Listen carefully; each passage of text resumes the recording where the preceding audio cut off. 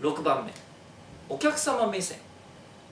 私たちは自分の視点にとらわれずお客様の視点に立って考えます。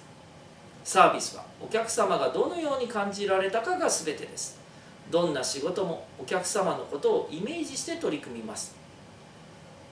この専門家というのは自分が表現したいことやりたいことを中心に考えてしまう傾向があるんです。でもお客様の目線でお客様の立場にあってそしてジャッジしそしてサービスを組み立てること。どんな専門家になっても自分の意見を通してはいけない。お客様の考え方を遵守してそれを行うこと。これが最も大切なことだと思ってます。